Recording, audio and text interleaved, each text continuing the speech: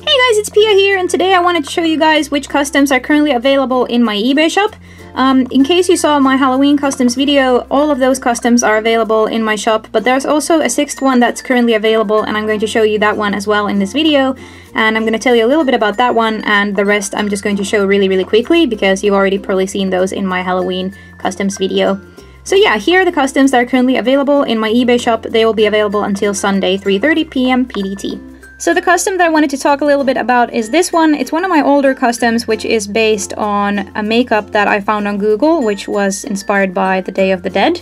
Um, I think she's super lovely. I've had her for many years, but I've noticed that I just, um, I don't know, I don't give her enough attention, I guess. So I really hope that she finds a home where she can be appreciated and loved.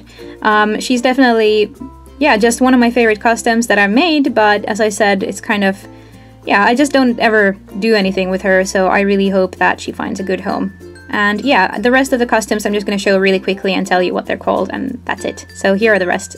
So the second custom that's currently available is my little geisha-inspired puppy, and she's supposed to be slightly creepy, but very, very cute.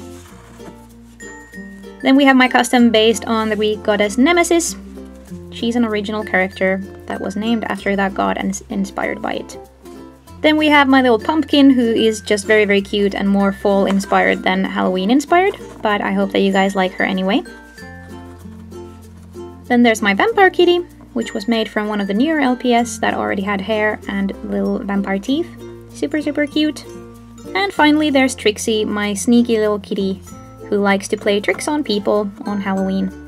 So yeah, these are the customs that are currently up for grabs in my eBay shop. As I said, they'll be available until Sunday, 3.30 p.m. PDT.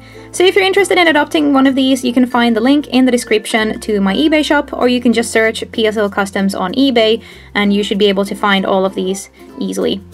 So yeah, that's all I had to say about these. Thank you so much for watching, and see you again tomorrow. Bye!